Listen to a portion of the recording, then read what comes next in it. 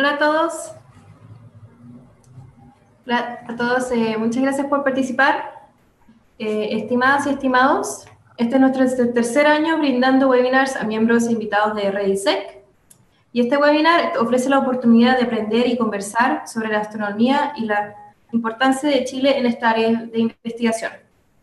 Los invitados que van a ser parte de esta reflexión, a partir de nuestros principios de interdisciplinaridad, visión de los distintos espacios de generación de conocimientos y apertura al mundo desde nuestra identidad y pluralismo a todo nivel. Yo soy Gabriela, directora de operaciones de RAISEC. Asimismo, tenemos a José Arias Bustamante, director de Estrategia Planificación desde British Columbia en los controles. Hoy contamos con un destacado staff de invitados, investigadores e investigadoras, amigos y amigas de la red de investigadores e investigadoras chilenos en Canadá. Antes de presentar a nuestros panelistas, quisiera agradecer a nuestro patrocinador, la Red de Talentos Chile Global, parte de la Fundación Imagen de Chile. Sin su incondicional apoyo, esta transmisión no sería posible. Agradecemos también especialmente a todo el equipo de voluntarios de RAISEC. A su vez, agradecemos a todos nuestros auditores en línea y los invitamos a participar activamente en el webinar a través del chat, en el que podrán presentar sus preguntas. La grabación de este webinar también será subido al canal de YouTube de RAISEC en los próximos días para que puedan consultarlo a su voluntad. Finalmente, agradecemos a nuestros expositores de hoy día, que en orden de presentación son Demian Arancibia, doctora Millarca Valenzuela y doctor Ricardo Moyano. Antes de empezar con las presentaciones de nuestros panelistas, queremos presentarles un video que ha preparado Chile Global. Buenas tardes, eh, gracias por este espacio. Mi nombre es Pablo Carvajal, soy coordinador de Chile Global. Chile Global es la red de chilenos destacados que viene del extranjero y lo que busca es poder movilizar a chilenos detrás de iniciativas que fomenten una percepción positiva en torno al país y a su vez poder vincularlos y rescatar el conocimiento, el capital humano que existe, vincularlo con el país. Eh, Chile Global está dentro de Imagen de Chile. Imagen de Chile es quien está a cargo de eh, mejorar las percepciones en torno a Chile, esto a través de la gestión de la marca país. En particular, la astronomía eh, constituye uno de los pilares en cuanto a la promoción internacional. La astronomía es uno, es, es el ítem que más genera notas científicas en torno a Chile, es cerca de, eh, es el que más genera paper también en torno a Chile. Además, de aquí al 2020, Chile concentrará en torno al 70% de eh, los observatorios eh, a nivel global. Chile Global es un proyecto que lleva más de 10 años. Eh, hemos trabajado con distintas redes, nos definimos como un proyecto colaborativo. En este, en este caso no, no competimos con otras redes en Alemania, en Canadá, en China. Lo que hacemos es trabajar, apoyarlas y que estos, las actividades que ellos desarrollen sean acciones que tengan un impacto en sus mercados de destino como en Chile. Este año, a través del programa de fondos concursables, estamos llegando a siete países. Estamos trabajando en Canadá, estamos trabajando en Estados Unidos, estamos apoyando proyectos en Alemania, en Inglaterra, dos proyectos en Inglaterra, uno en Holanda y otro en China. Por esto podemos decir que Chile Global es la comunidad que está vinculando y está movilizando a los chilenos del extranjero en distintos mercados. ¿ya? Eh, y nuestra intención es llegar a ser el referente en cuanto a las comunidades, poder entregarles visibilidad, poder destacar el capital humano que existe en el, extranjero y la invitación es a conocer Chile Global, a sumarse a Chile Global. Tenemos la completa disposición de trabajar en este proyecto y destacar que Chile Global está disponible, somos accesibles eh, y estamos dentro de Imagen de Chile. O sea, tenemos distintas acciones, tenemos distintos áreas que lo podemos apoyar y tenemos completa disposición a hacerlo. Los invito a sumarse, los invito a, contactar con Chile Global e insisto, agradecer a Reisec por esta oportunidad, agradecer por las temáticas que están posicionando para Chile y el impacto que tienen en Canadá es súper relevante. Gracias y los invito a sumarse a Chile Global. Muchas gracias por ese video. Eh, no sé si todos lo escucharon bien, pero lo vamos a tener disponible en... Um, en nuestro canal de YouTube cuando subamos todo este webinar. Ahora quiero recordarle a nuestros invitados que contarán con 10 minutos para realizar su presentación. Voy a indicarles a cada panelista cuando les quede 5 minutos y cuando, les quede, cuando hayan pasado los 5 minutos y cuando hayan pasado los 8 minutos. Una vez realizadas las tres presentaciones, Habrá un periodo de 30 minutos de preguntas del público que serán moderadas, moderadas por mí. Y les pido a nuestros auditores, a la, gente que, a nuestros espectadores, eh, que escriban o digan su locación cuando hagan su pregunta. O sea, si, los quieren en el chat, que escriban dónde están, y si lo quieren decir eh, oralmente, que digan también dónde están. Nuestro primer panelista es Demian Abencibia. Demian es director ejecutivo del programa Astro Data Corfo desde 2016. Es ingeniero industrial de la Universidad de Chile y magíster en Systems Engineering de la Universidad de Cornell. Anteriormente ha trabajado como Project Manager y Lead Systems Engineer en instituciones en Estados Unidos y también fue miembro del equipo de Systems Engineering del Observatorio ALMA durante su construcción en Chile. Ha publicado y presentado su trabajo en The American Astrological Society, the International Society for Optics and Photonics, Project Management Institute y el International Astronomical Union. Hoy día su presentación es Astroinformatic Program, an opportunity in the heart of science, technology and industry. Así que ahora le doy la bienvenida a Dimian para que nos presente su, su panel. Ok, este, eh, la presentación está en inglés porque estamos trabajando eh, con una mirada global, pero voy a hacer la presentación en español para ustedes. Eh, el programa de astroinformática de la Corfo es, tiene fondos del el Fondo de Inversión Estratégica, y tengo un aviso acá, alguien está mandando algo en el chat. Ok, empecé a contar los minutos. Es, eh, tiene fondos del Fondo de Inversión Estratégica y em, está encargado a Corfo. Tiene la misión principal de em, potenciar y diversificar la economía chilena en el área de Big Data a través de la astronomía. ¿Ok? Esta intención del Ministerio de Economía se viene gestando, yo les diría, desde hace una década. Eh, se, iniciaron, se inició con estudios eh, bien generales de las estrategias que se podían hacer para poder ampliar el valor que obtiene Chile de esta ciencia que eh, vamos a ver en esta presentación es, es bastante importante desde nuestro país hacia el mundo. Eh, y lo que les voy a mostrar ahora es lo que está instalado en el Ministerio de Economía, así que puede ser súper interesante para ustedes eh, entender que esto es lo que ya eh, habitan los economistas y los políticos que trabajan en, el Ministerio de Economía, o sea, no en el CONICIT, no en, el, en, la repartición de ciencias, sino en la repartición gubernamental de economía. Entonces, lo primero que hemos instalado es la idea de la astronomía eh, histórica. La astronomía es una ciencia que, como todas las ciencias, viene esta dialéctica de la observación eh, versus eh, la teoría o la explicación de lo que observamos. Y ponemos esta imagen de Galileo como un ejemplo en la astronomía de cómo, por las características epistemológicas de la ciencia, las cosas no son reproducibles en un laboratorio, y cuando Galileo patenta esta magnificación de 3 por, eh, se abrió una ventana nueva al universo que, que, no tenía, que la humanidad no tenía eh, idea, digamos, de, de, la teoría que explicaba eso, ¿no? Eh, y es un, es un salto cuántico en nuestra capacidad de ver el universo.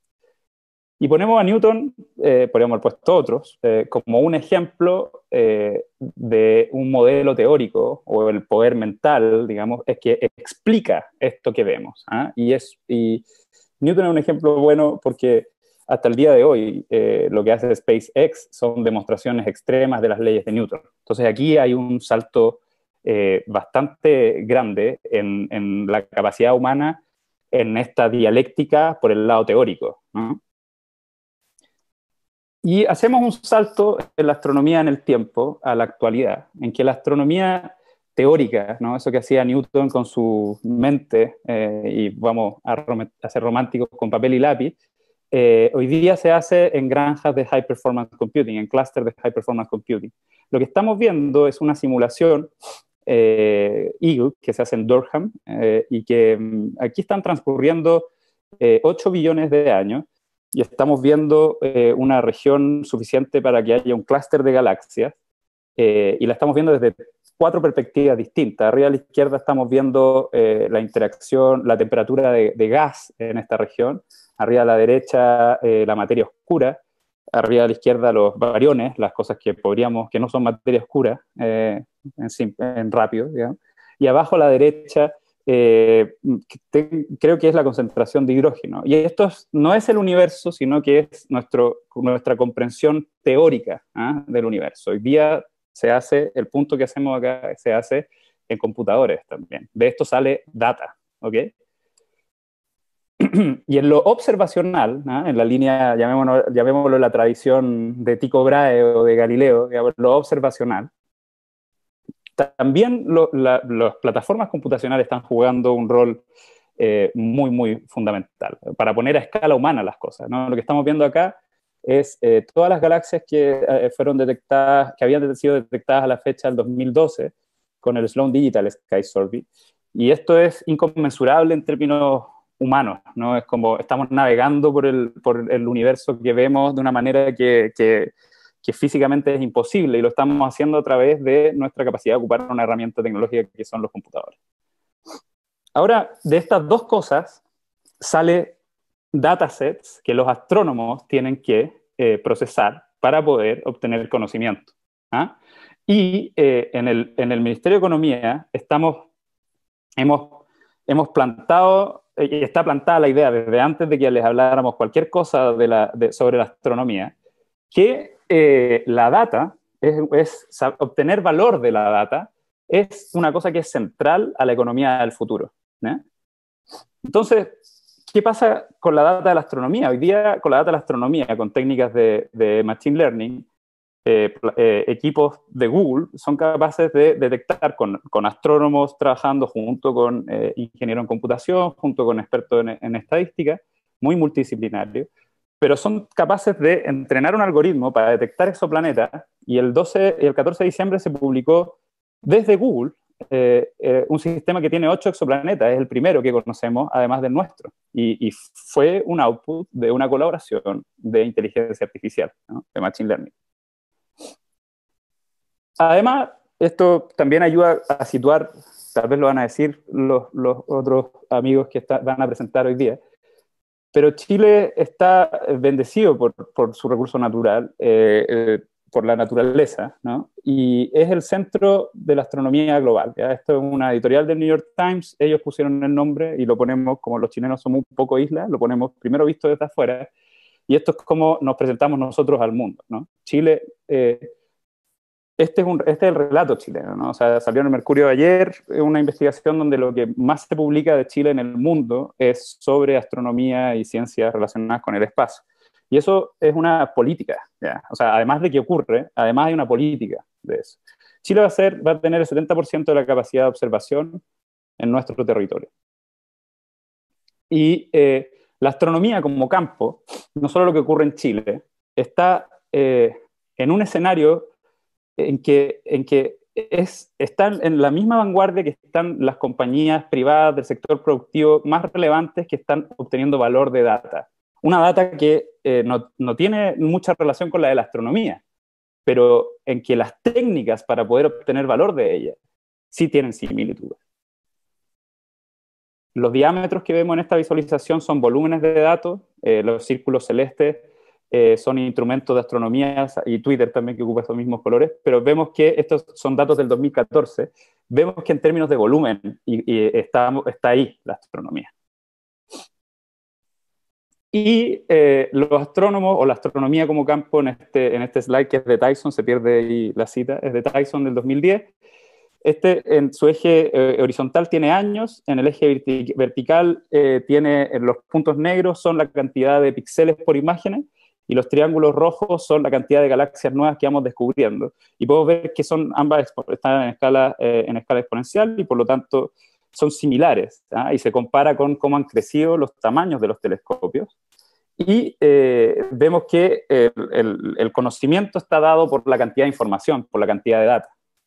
Y vemos también que esto podría ser podría haber una distancia entre, entre la línea negra y los triángulos amarillos, podría tener una pendiente menor, ¿no? Y eso querría decir que la astronomía no ha estado siendo tan exitosa en obtener eh, conocimiento de sus datos. ¿ah? Pero lo contrario es cierto, y eso es bueno, eso, eso le interesa a, a, a este país mirando hacia el futuro. Me avisan que me queda un minuto ya, entonces voy a avanzar un poco más rápido y, sí le, voy a pedir, que voy a pedirle esos 15 minutos que los tiraron al principio, así que, ok, los tomo, ok, me veo un sí, fantástico, gracias. Y eh, el, bueno, esto, estos son datos del CONICIT. En Chile hay 12 universidades que, que, entregan programas postdoctorales de astronomía y más de 500 alumnos de pregrado, 180, eh, ah, no veo las cifras, justo me tapa, 180 de magíster, 50 de 100 profesores, 100 postdocs.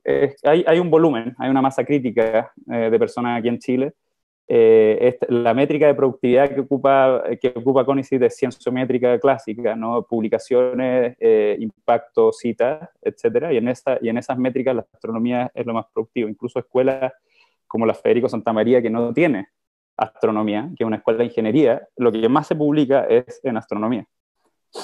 Em, entonces, lo que dice, lo que, lo, que, lo que piensa el Ministerio de Economía interesado en el desarrollo de este país es que este país está en un momento en que, en que necesita obtener productividad económica ¿ah? de su campo científico principal, que es la astronomía.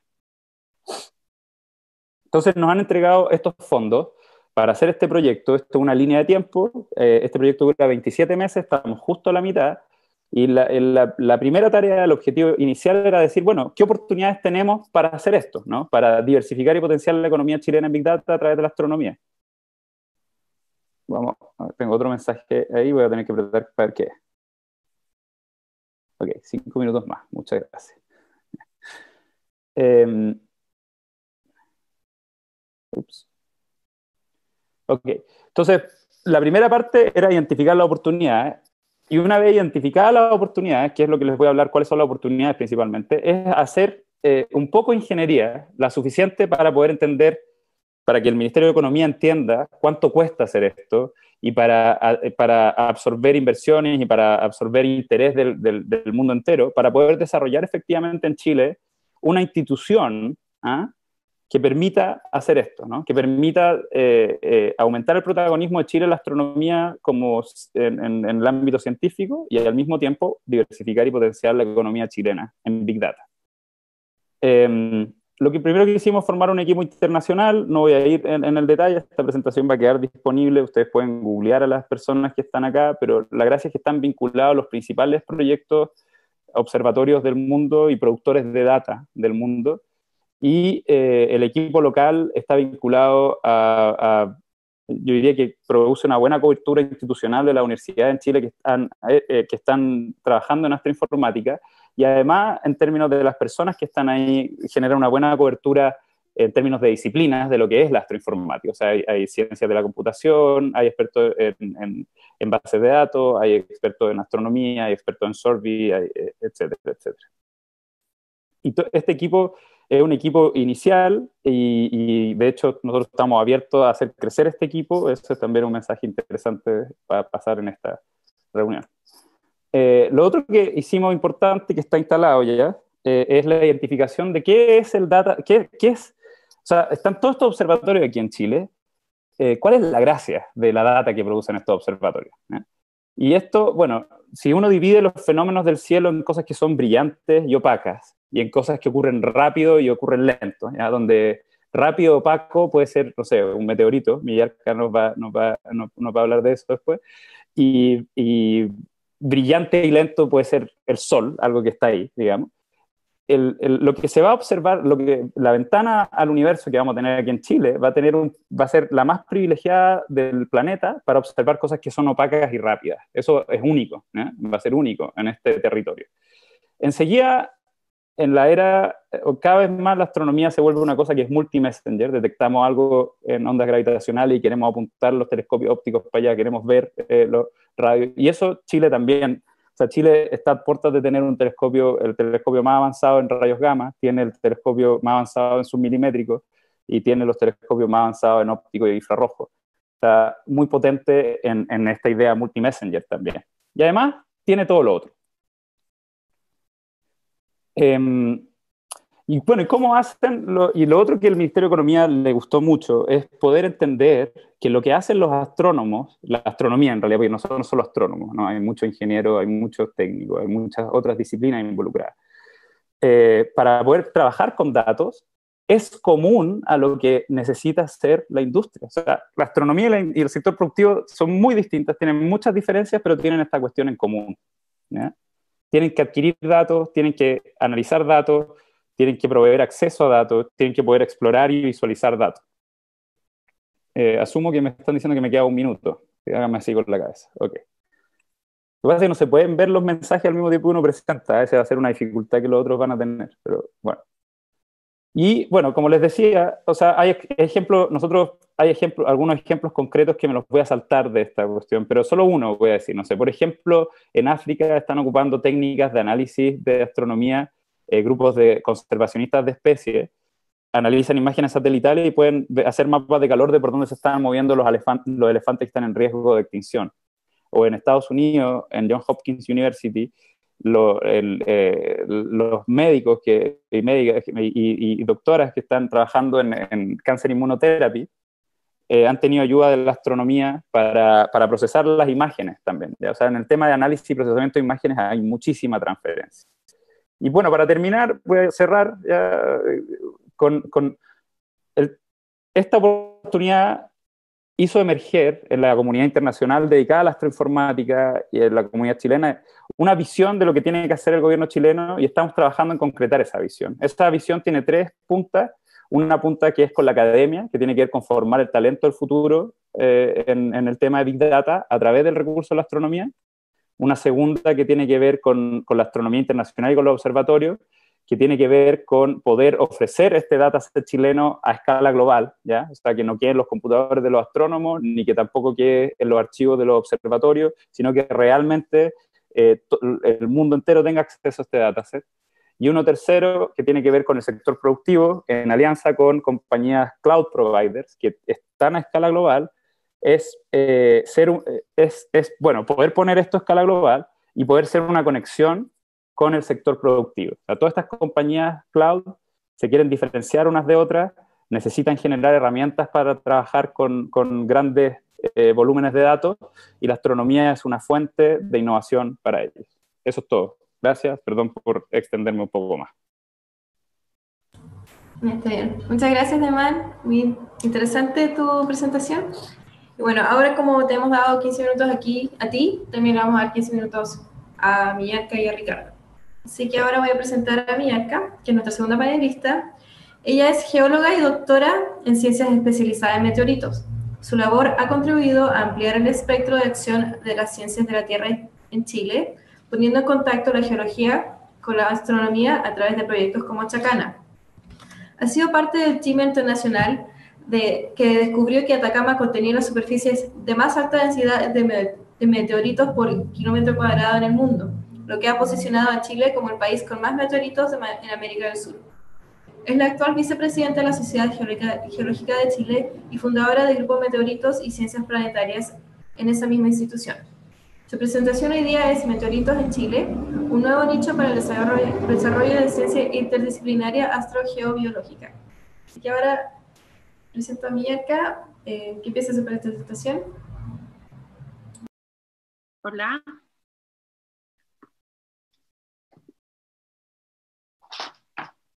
¿Me, escuchan bien? Excelente.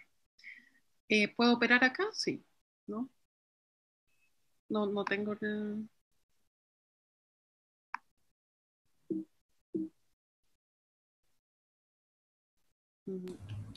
Eh, José va a cambiar el, diapositiva cuando tú le pidas. Ah, ya. Me parece que lo tengo yo. Sí. Bueno, eh, gracias por invitarme. Eh, voy a, en honor al tiempo que tenemos, quiero ir rapidito contándoles un poco esto de los meteoritos chilenos. Primero decirles que esto que corresponde a una roca que encontramos en la Tierra, corresponde como al puente entre la astronomía y la geología, y que aquí en Chile eso no ha sido em, tomado en cuenta. Yo creo que vivimos en un país que es estratégico de muchas formas y el desierto de Atacama es clave, eh, y hace, hace algún tiempo no teníamos idea que teníamos este nuevo como yacimiento, así como somos importantes en el cobre y, en los supercielos, también eh, nos, nos, estamos posicionando a nivel internacional con respecto a este tema que son los meteoritos.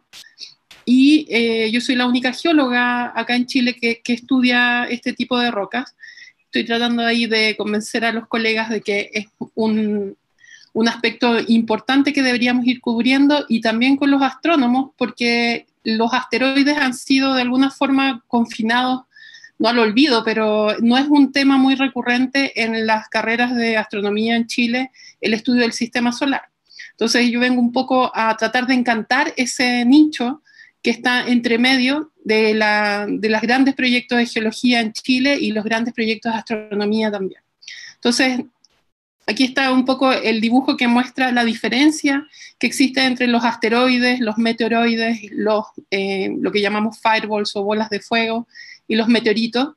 Eh, meteoritos solo le llamamos a, este fragmento de meteoroide que ha sobrevivido el vuelo a través de la atmósfera y que llega al suelo y lo podemos recoger.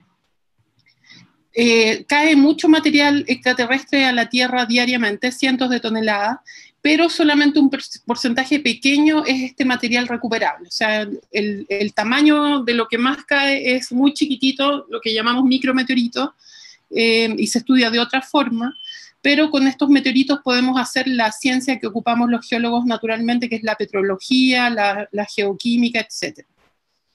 Em, y otro de los efectos que, algo que tiene que ver con esto, que es cuando vemos estos fireballs, acá se ve uno que se vio en, en, febrero de este año en Antofagasta, eh, está, este material que está cayendo también trae información en la luz, que no somos capaces aún de, de estudiarlos ni de, de, poder cuantificar cuánto, cuánto material se ve, etcétera, y que esa es un poco la razón del, del proyecto Chacana que voy a mencionar un poquito más adelante.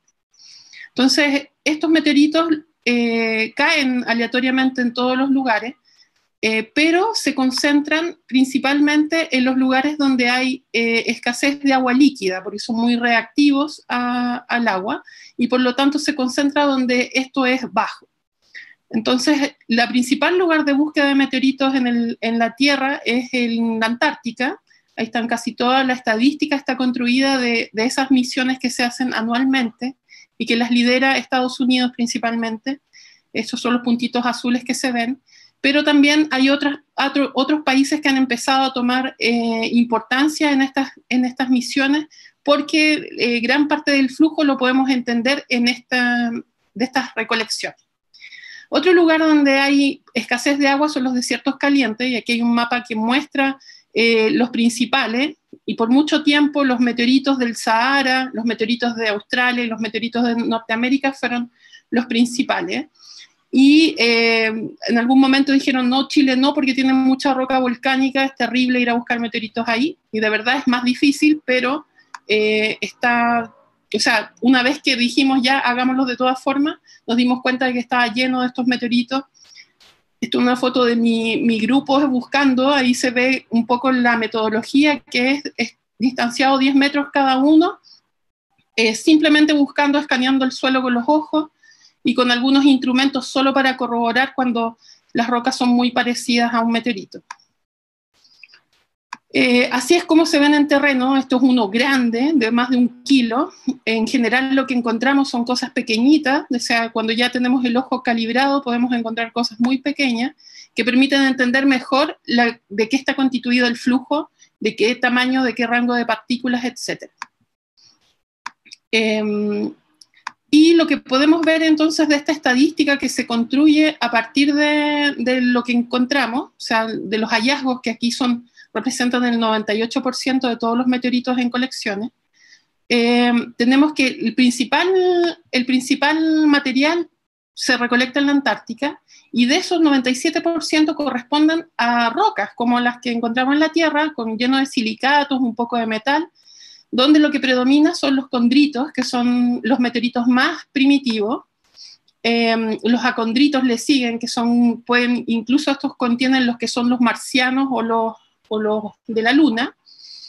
un poquito de, meteoritos de hierro, que son los que la gente más relaciona a un meteorito propiamente tal, y los de, que tienen la mitad de su composición de, eh, silicatos y el resto de metal, que son los siderolitos, las palacitas, que son los más espectaculares y son los que generan más eh, mercado negro también. Entonces, de esos condritos, lo que más existe son condritos ordinarios y eso es lo que domina la colección, por lo menos en el desierto Atacama. Entonces, este material es importante de preservar porque son el material más antiguo, el remanente físico eh, que tiene de alguna forma las, las, fotografías instantáneas de diferentes procesos que ocurrieron en el momento en que se formó el sistema solar. Entonces, una clave de interpretación a esos procesos que están tratando de, estudiar em, los astrónomos también al buscar exoplanetas. Como es una roca, la podemos cortar, podemos mirarla al microscopio. Esto es una foto de un cóndrulo, que es una gotita de fundido de, de lo que creemos era al inicio los primeros sólidos que se formaron, con una matriz oscura que tiene material de baja temperatura, o sea, como que se formó lejos del Sol, mezclado con material que pareciera se formó cerca del Sol. Entonces son esas cosas texturales que son muy importantes para entender procesos, las que la geología puede entregarle a la astronomía. ¿Y de, dónde provienen ellos? Principalmente del cinturón de asteroides. Eh, ay, perdón y algunos vienen entonces de las superficies de Marte o de la Luna. Cuando hay grandes impactos, estos salen, salen de la gravedad de esos planetas y pueden entonces llegar a la Tierra. Em, de vez en cuando ese tamaño es, mayor y entonces podemos tener impactos, cráteres, extinciones y todo lo que significa un, encuentro del mal tipo con, con un cuerpo muy grande. Y algunos registros de esta actividad han ocurrido recientemente, como lo que ocurrió en Rusia el 2013 con este bola de fuego de Chelyabinsk, em, que puso de alguna forma la alarma a que también, así como tenemos eh, eh, riesgos geológicos, tenemos riesgos astrogeológicos, como la caída de uno de estos eh, meteoroides más grandes. Y Tunguska es también otro ejemplo que todo el mundo lo conoce, donde se generó una explosión que generó incendios y la devastación de un sector en, Siberia. Entonces se eligió esa fecha, el 30 de junio, como el día para recordar este tipo de eventos, para no olvidarnos que esto ocurre, eh, como el día del asteroide. Acá está el ejemplo de uno, de los eventos globales más que tuvo más consecuencias en la historia de la, de la Tierra, incluso de los humanos, dado que si no hubiera ocurrido este gran eh, impacto, donde se desapareció casi el 75% de toda la biomasa del planeta eh, por un asteroide de más de 15 kilómetros de diámetro, eh, eso marcó un antes y un después en la evolución de las especies en la Tierra. Y, y esa es la parte astrobiológica de alguna forma que tiene el encuentro con este tipo de material. Ahí tenemos el dinosaurio. Y este es el mapa de, los cráteres que se han encontrado en la Tierra. Si uno ve la Luna, sabe que obviamente son mucho más que eso y, producto de la tectónica de placas, la atmósfera, se han ido borrando estructuras. Pero hay ahí una cosa eh, muy eh, interesante, que es que tenemos que seguir investigando. Y si ven eh, Sudamérica, eh, Asia, África se ven muy poquito y eso no es porque no existan, sino que porque no hay investigadores haciendo la pega de ir a... y no hay financiamiento para ese tipo de estudios. Pero por eso hay, está lleno en Europa, está lleno en Estados Unidos, está lleno en Australia, porque ahí sí hay plata para, hacer ese tipo de investigación. Y nosotros tenemos un cráter que está en el norte de Chile, eh, cerca de Peine, más al sur de San Pedro de Atacama, que eh, tiene más o menos 600.000 años eh, y es, un cráter único, muy bien preservado para su edad, eh, que puede ser un observatorio. Eso es lo que estamos tratando de hacer, de, de poderlo proteger, dado que hay gente que yo creo que por ignorancia entra al cráter con los camionetas, que es la foto que está abajo, sacándose fotos y, de alguna forma erodando todo el borde de esa estructura. Entonces aquí aquí está lo que les decía sobre el Día del Asteroide ha sido todo un proceso de, empoderar a la comunidad, que es la comunidad de Peine, que es una comunidad indígena atacameña, para que ellos sientan que ese territorio es suyo y que cuenta una historia que es única al planeta y sobre todo en Sudamérica. Eh, no sé qué pasó.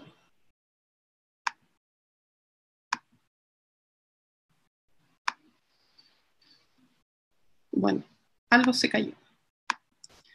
Bueno, la historia que cuentan los meteoritos tiene que ver entonces con eh, estos procesos que se dan. La mayor parte de los meteoritos corresponden a estos condritos ordinarios que son instantáneos en el momento en que se estaban generando los primeros planetesimales, eh, con este material que era muy heterogéneo.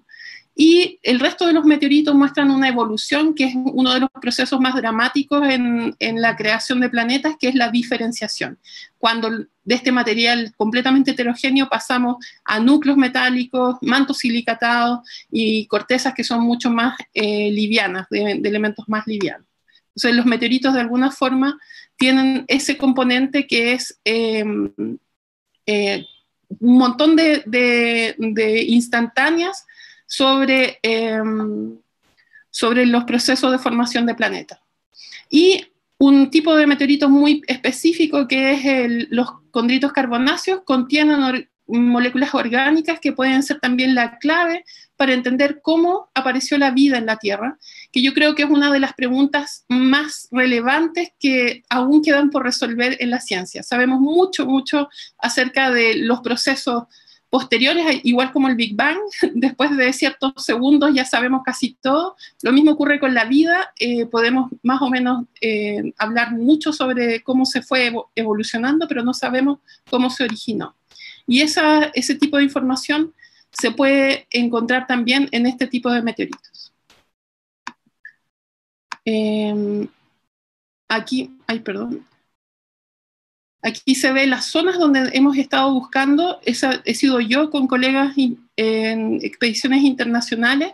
La idea actualmente es, empezar a hacer expediciones nacionales donde más gente, más geólogos se puedan interesar, más astrónomos se puedan interesar estas son como el resumen de todas las expediciones que hemos hecho y si, se fijan el número de meteoritos en las expediciones que hemos recolectado, partimos con tres y actualmente logramos encontrar 600 en la última expedición, pero porque fue una expedición muy grande con 18 personas, 18 integrantes, que ahí son parte de los que estuvieron en esta última expedición.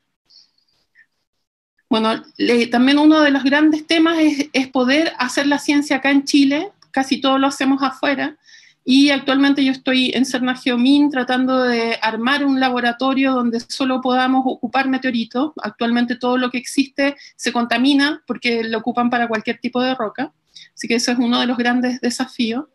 Y actualmente en meteoritos oficiales son 1168 eh, meteorito que incluye el primer meteorito marciano encontrado en Chile, una anaclita, que son los únicos 20, 20 meteoritos en todo el mundo de ese estilo y que salió porque no, no hay ninguna ley que proteja este tipo de material.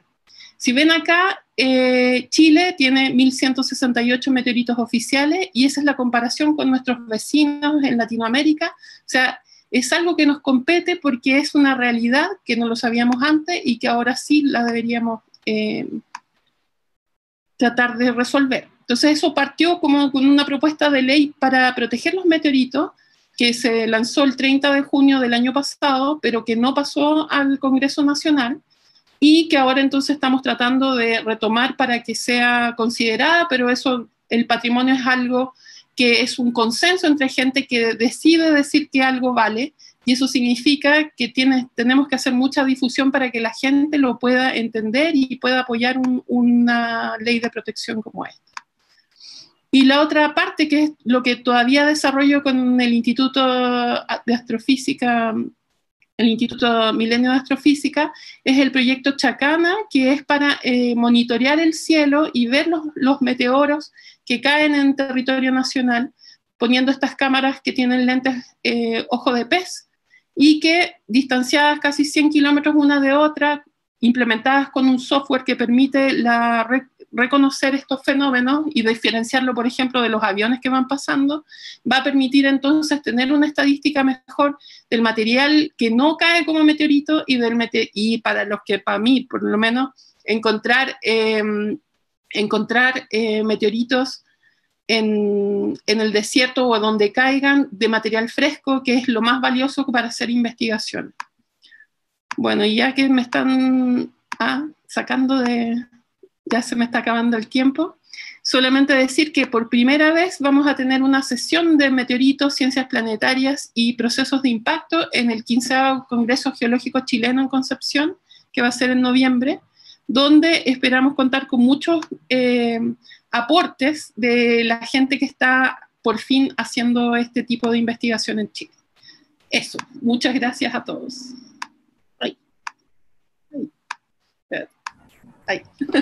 Gracias. muchas gracias, Millarca. Muy interesante.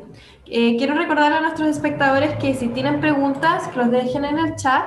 Entonces, así cuando lleguemos al periodo de preguntas, ya las que tenemos una lista de, de cosas que preguntar a nuestros panelistas. Y bueno, ahora pasamos a nuestra última presentación, que es de Ricardo. Eh, Ricardo es actualmente becario postdoctoral del Instituto de Ciencias Humanas, Sociales y Ambientales del Centro Científico Tecnológico en Argentina. Y tuve que googlear toda la cosa porque no sabía qué eran todas esas siglas, todas, esas letras. Obtuvo su magíster y doctorado en arqueología en la Escuela Nacional de Antropología e Historia en México y ha sido becario postdoctoral de la Universidad, Autónoma, de la Universidad Nacional Autónoma de México. Es investigador con experiencia en etno y arqueoastronomía, calendarios de horizonte, estudios comparativos y arqueología de alta montaña en los contextos incas en el centro norte de Chile y noroeste de Argentina, y la cuenca del centro de México. Ricardo es miembro de la Sociedad Interamericana de Astronomía y la Cultura y de International Society for Archaeoastronomy and Astronomy and Culture. Hoy día su presentación es el, cielo como patrimonio cultural en Chile. Así, bienvenido Ricardo. Eh, muchísimas gracias por la invitación y, nada, pues, es un, es un, placer acá compartir con ustedes y también poder introducir un poco sobre un tema que proviene desde la antropología, pero que trata de entender eh, cómo se entiende, cómo mm, conceptualizamos, cómo de alguna manera podemos entender el cielo, pero desde el punto de vista de la cultura hay que entender que las, culturas humanas desde tiempos inmemoriales han desarrollado una capacidad sistemática por observar, definir, entender los procesos del cielo y han de alguna manera eh, construido mitos, leyendas en torno al mismo. Entonces, cuando nos proponemos o nos ponemos las, o ponemos las ganas de poder entender el cielo desde el punto de vista de la cultura, tenemos que entender de que el ser humano es el que hace la observación, es el instrumento para poder realizar eh, este tipo de trabajo y también es, es, la persona que intenta, la siguiente, que intenta de alguna manera eh, comprender estos procesos. En el, en el mundo andino, particularmente en la cultura incaica, tenemos un montón de registros relacionados con conceptos del cielo vinculados con entidades anímicas. Estas entidades, por ejemplo, el Sol, la Luna, determinados asterismos, zonas de la Vía Láctea, eh, son conceptualizados como entidades vivas. Eh, son entendidos como animales, como personajes que tienen cierta personalidad y también cierta capacidad de agencia eh, sobre las personas que habitan en la Tierra. Siguiente. Este, mm, desde el año 2009 a la fecha, aproximadamente, la Unión Astronómica Internacional y la UNESCO han definido ciertas categorías que incluyen el patrimonio astronómico dentro de lo que son las categorías de patrimonio de la humanidad. Dentro de estas categorías tenemos innumerables ejemplos que atienden a mm, restos tangibles, objetos móviles, eh, incluso el conocimiento vinculado con las prácticas culturales asociadas a las tradiciones indígenas. Y así también los ambientes naturales o los aspectos vinculados con el paisaje. Siguiente. Acá tenemos en esta imagen eh, varios ejemplos de lo que podemos definir como patrimonio cultural astronómico, tenemos eh, las pinturas del neolítico europeo, los ejemplos de los dólmenes y las estructuras en, Mesoamérica, todo lo que es la, iconografía y el desarrollo de la observación y la astronomía en India, en Mesopotamia y en China. Tenemos los monumentos en, Egipto, todo lo que es la astronomía eh, clásica en el mundo griego y romano, posteriormente el desarrollo de la astronomía, entre comillas, eh, europea y lo que es el desarrollo de la ciencia a partir del siglo XVI y XVII, todo lo que son los desarrollos modernos de la radioastronomía, la astronomía óptica y también el, eh, la carrera espacial. Siguiente. Este, mm, Chile tiene el privilegio de tener unos cielos que son espectaculares. Y eh, de acuerdo a lo que han presentado acá los colegas, eh, aproximadamente el 70% de la capacidad astronómica del planeta va a estar concentrada en Chile al finalizar el 2020 siguiente. Y esto nos pone en un papel privilegiado, que es poder entender de alguna manera el cielo desde el punto de vista de la cultura, pero más allá de los desarrollos científicos y tecnológicos que son muy útiles. Pero para poder darle un sentido a la astronomía, debemos también entender el, sustento cultural que tiene, incluso en nuestras propias raíces como, nación. Siguiente. Este, mm, voy a presentar algunos casos. Eh, mi, trabajo de investigación se ha centrado particularmente en el norte de Chile, en lo que es la zona de Atacama, el noreste de Argentina y todo lo que es el centro eh, de la cuenca de Santiago. Siguiente. Tenemos innumerables ejemplos de eh, observaciones astronómicas realizadas en tiempos incaicos. Esto corresponde a un centro metalúrgico llamado Viña del Cerro, ubicado en el valle de Copiapó, donde desde una plataforma conocida con el nombre de Ushnu se habrían realizado ciertas observaciones particularmente para los solsticios y la posición extrema de la Luna. Siguiente. Hay que recordar de que tanto el Sol como la Luna constituían entidades sagradas para el, para el mundo incaico. Es decir, eh, cuando se observaba una puesta o una salida del Sol en una posición extrema de la Luna, una determinada zona del cielo, etc., no estaban observando un objeto astronómico, lo que estaban mirando estas personas eran a sus dioses. Siguiente.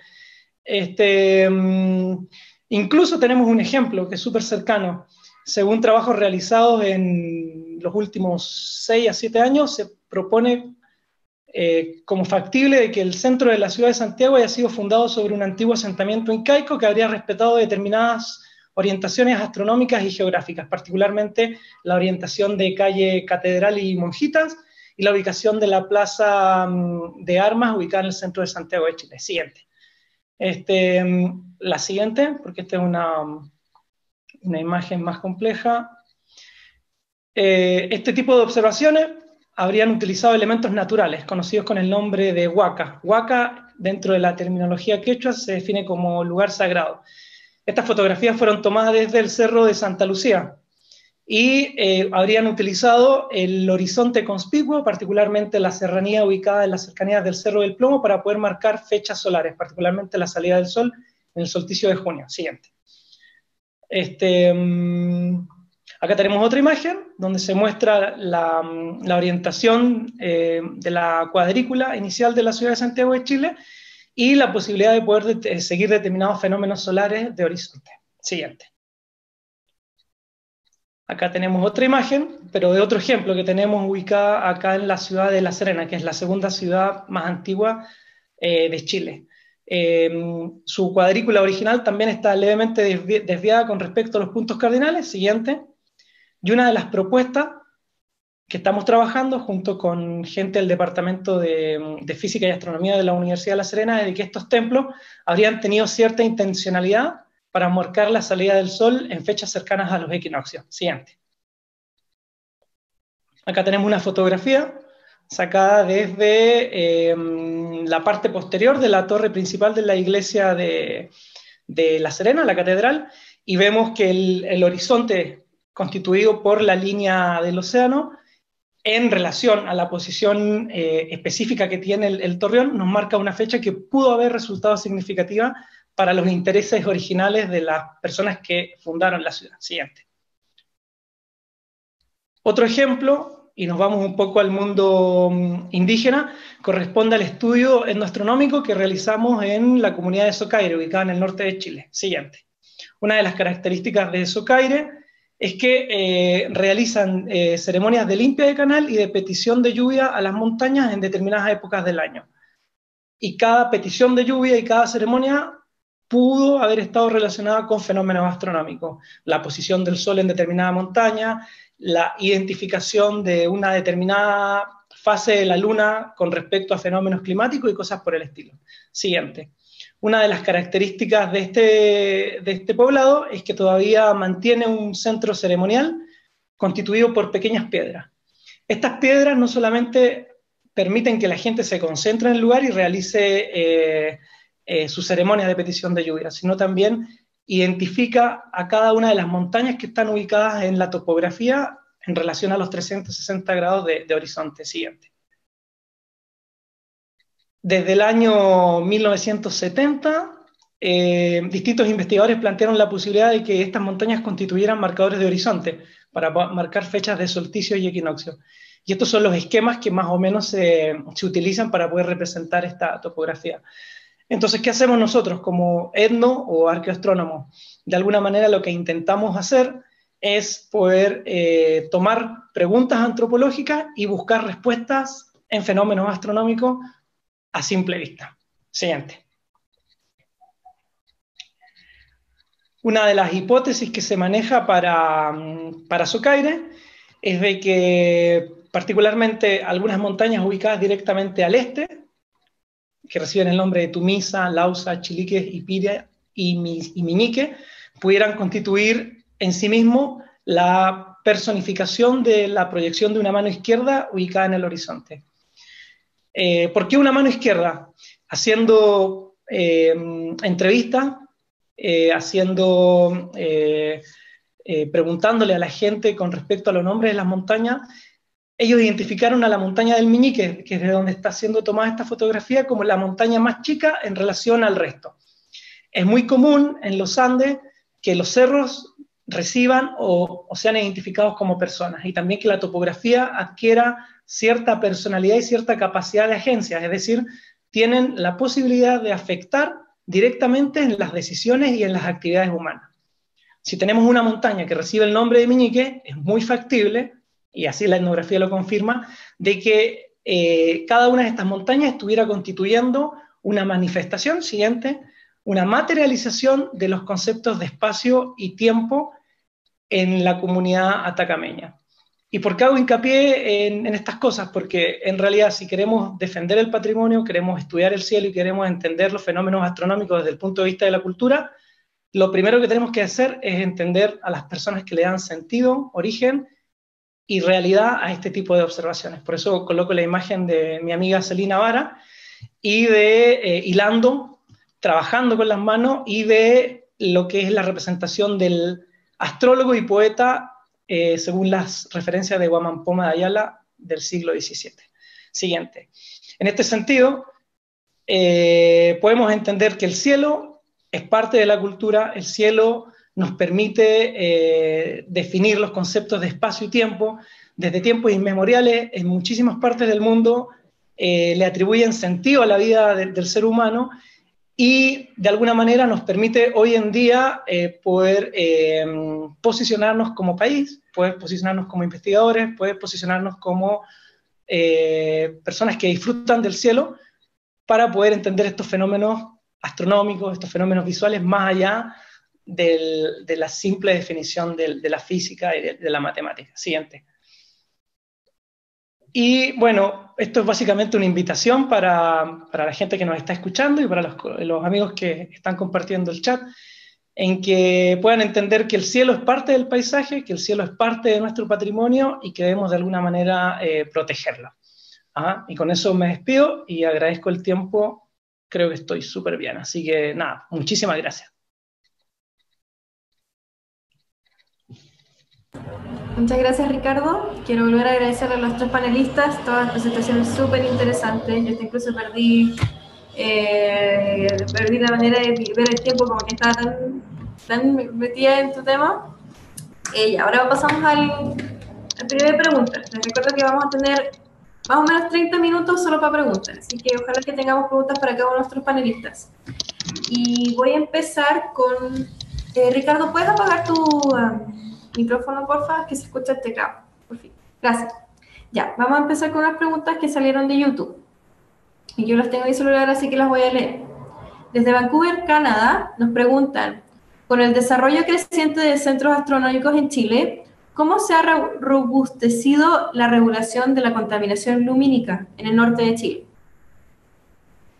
Y dejamos esta pregunta abierta para, para todos nuestros panelistas. ¿Puede hablar cualquiera o no? Sí, cualquiera, cualquiera, está para cualquiera. Bueno, es una, es una pregunta súper interesante porque de hecho eh, entrecruza muchos aspectos relacionados con, con el cielo. Eh, hasta donde yo sé, bueno, la Unión Astronómica Internacional, los gobiernos locales, eh, muchas comunidades también están intentando desarrollar políticas que están apuntan en este sentido. De hecho, eh, lo dije más o menos rapidito en la charla, eh, la calidad de los cielos y la posibilidad de poder observar eh, se considera parte del patrimonio. Y bueno, por desgracia en Chile todavía las políticas no, han logrado, ¿cómo se dice?, complementarse con, estos, y con estas iniciativas internacionales, pero sería súper interesante que de, una vez por todas el cielo y, la capacidad que tenemos de poder disfrutar de esto fuera algo, un tema nacional. No sé si alguien quiere... Hay, eh, hay un avance eh, legislativo en ese sentido, la parte lumínica, ¿no? Y hace poco, afortunadamente, también se incorporó el espectro electromagnético en un sentido más amplio, ¿no? No solo, no solo en, en el espectro visible, ¿no? Tenemos ALMA, vamos a tener CTA en el futuro que va a ser rayos gamma. Entonces hay que cuidar, hay que cuidar el, espectro completo. Em, ahora, bueno, también hay que dotar esas leyes de, implementación en la realidad, ¿no? O sea, no, no sirve de nada que exista una ley y que después cuando se construya un camino eh, que pase por el desierto de Atacama se ponga cualquier luminaria que esté puesta para arriba, digamos, y este es un caso real, digamos, este es un caso real, existiendo ley y todo, eh, obviamente puede existir la desconexión entre las personas que están construyendo ese camino y la ley, ¿no?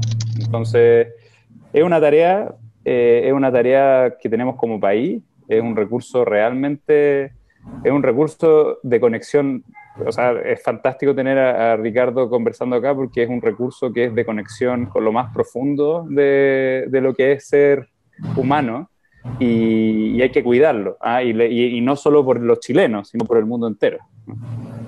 En ese sentido, la Sociedad Chilena de Astronomía ha impulsado muchos trabajos en este sentido, como mejorar los acuerdos, porque hay algunos acuerdos ya, ya realizados, pero falta la siguiente fase, que es justamente empezar el cambio de la luminaria, en las ciudades y de hecho ha sido, o sea, es un avance, una innovación el tipo de luminarias, los arquitectos que están metidos en esta temática, minimizando completamente el, el consumo y apuntándolas hacia abajo, solamente iluminando lo que tiene que iluminar. Entonces yo creo que está bien encaminado, pero todavía faltan pasos como para, para concretar una política. Al final lo mismo que pasa con muchas temáticas de sustentabilidad y de, mejoras, que son hábitos y, procesos de conciencia. en, el Congreso del Futuro fue una de las temáticas que se, se tocaron sobre diferentes cosas eh, patrimoniales y yo creo que, que, hay que seguir impulsándolas para que se materialicen y de, de buena forma. Ya. Muchas gracias. Ahora tenemos una pregunta que yo creo que es más eh, como específica para Villarca. Eh, ¿Hay formas de dejar zonas de conservación para investigación de meteoritos, así como existe en el Sistema Nacional de Áreas Silvestres Protegidas por el Estado? No, y va a ser casi imposible, porque en Chile la ley minera tiene mayor peso que las leyes de conservación sobre todo que no es un lugar, sino que son, los meteoritos son cosas, son objetos. Entonces no es como que haya un afloramiento de meteoritos y yo pueda decir, voy a suscribir un círculo y de aquí nadie saca. Entonces eso no es posible. Y la idea de la legislación, más que prohibir, es normar, porque como les contaba, parte casi 90% de los meteoritos que caen son del mismo tipo, estos primitivos que son los condritos ordinarios. Entonces, eh, pero hay un, un 10% de cosas que pueden venir a completar el puzzle de lo que estamos tratando de entender, porque no existe una relación uno a uno de lo que conocemos de los meteoritos acá en la Tierra con los asteroides que están estudiando eh, los astrónomos. Entonces, cada nuevo meteorito, y esa era una de las, de eh, diapos que me salté, por ejemplo, en, nuestra colección encontramos un meteorito que, que define un nuevo grupo. Entonces, pero eso no lo sabemos a priori después de que va al laboratorio, lo cortamos y lo estudiamos, recién ahí podemos saberlo. Entonces, ¿cómo protegemos o cómo conservamos para la ciencia este material que desde el 2017 están llegando muchas expediciones científicas y coleccionistas privados sin avisarle a nadie y yo me entero solamente de casualidad si es que, si es que lo, los publican. Entonces ese es el problema.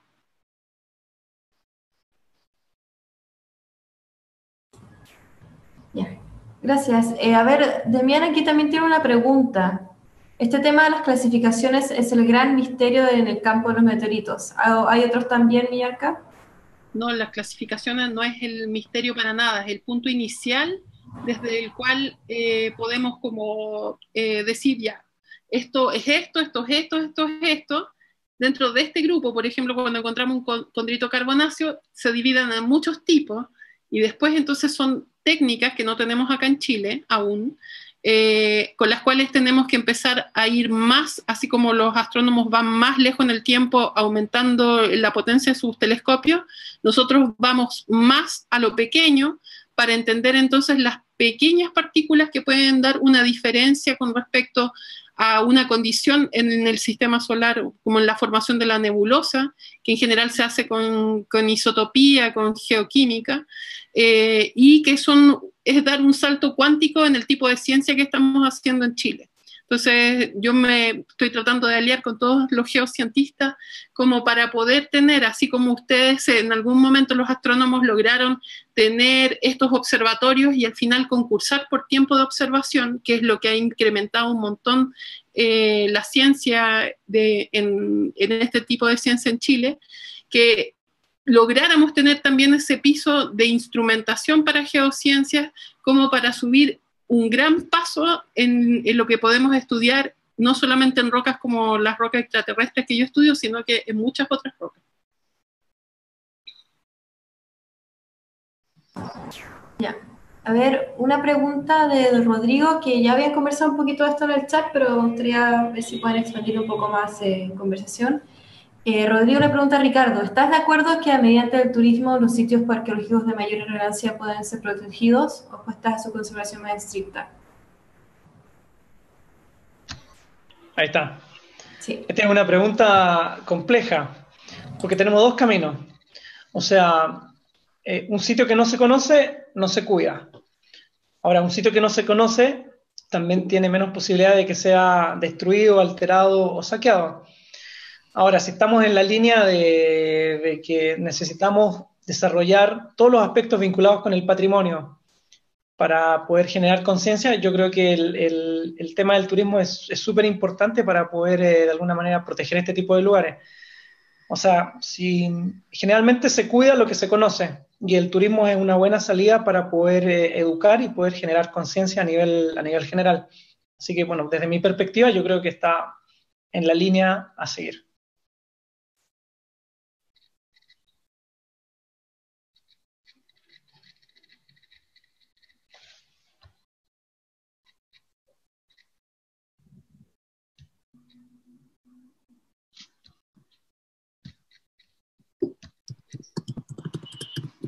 Perdón. Está, que, el micrófono está, está silenciado. Aquí tenemos una pregunta de Marla, que dice que ella hace videojuegos por años. Su objetivo es poner adelante la cultura chilena. Entonces quisiera saber si alguno de vosotros está interesado por trabajar en ese sentido y promulgar con ese medio la astronomía.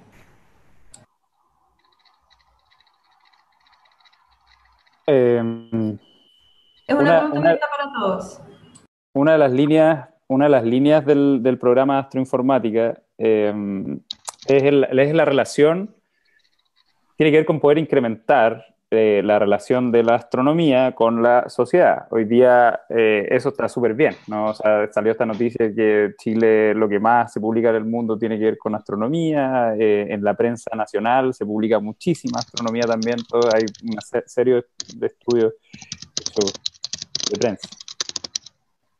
La pregunta es directa, o sea, obviamente, obviamente yo, por lo menos, y la gente que trabaja conmigo estamos totalmente disponibles. Yo creo que nosotros si somos exitosos eh, en, generar un, eh, lo que se llama un dataset chileno de la astronomía, que esto quiere decir es como poder ver, eh, tener de alguna manera los datos que se adquieren aquí, esos datos pueden ser usados eventualmente para hacer videojuegos. O sea, podría ser, pues se podría hacer un videojuego espectacular, ¿no? O sea, como eh, ocupar un mapa real del universo observado desde Chile y, el juego incluso podría ser eh, compartido con el mundo entero en base a eso.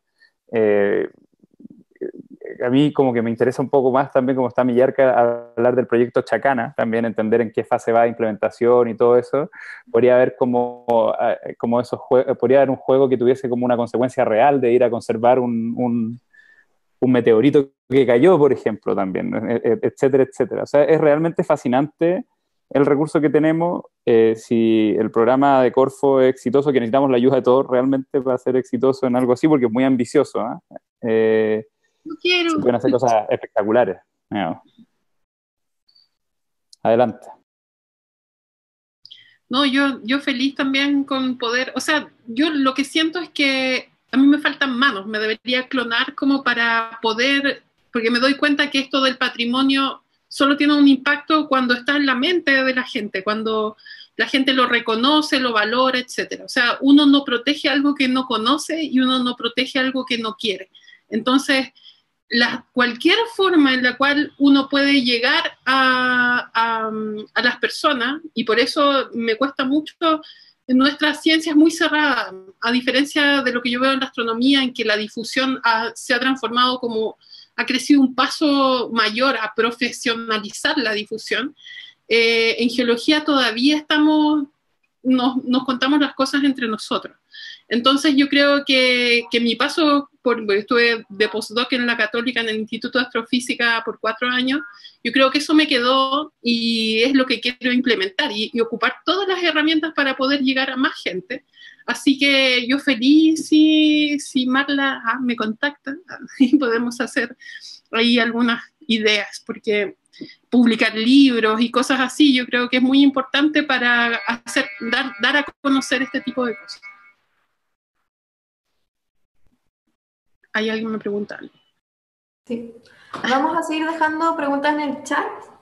Y ahora queremos volver a agradecerle a todos los panelistas por estar esta tarde compartiendo con nosotros, especialmente a ustedes y a nuestro patrocinador de la Red de Talentos Chile Global, que es parte de la Fundación Imagen de Chile, y a todo el equipo de Webinar CRIC, que estamos aquí con José detrás de con los controles, estamos con nuestros espectadores en todas partes en Chile, en Canadá, yo estoy aquí en Lima, Perú, y bueno, ahora les invitamos a seguir participando en nuestras actividades. Nuestro próximo webinar será de biotecnología que se llevará a cabo el 28 de junio y habrá un encuentro social en Ottawa, Canadá, que será organizado por el delegado provincial Emilio Alarcón.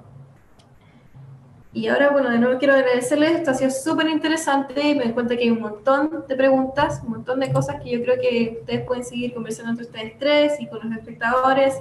Eh, se ha hecho súper interesante y um, nos despedimos ahora en nombre de REDISEC, que es la red de, investigadores y investigadoras chilenas en Canadá, y que todos tengan un buen fin de semana. Y nuevo, muchas gracias, que les vaya bien.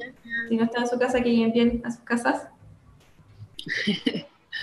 un gusto. Y un gusto. Un gusto con Muchas, gracias por, por, la invitación y por, y por eh, organizar todo esto. Gracias a ustedes por participar y a los espectadores.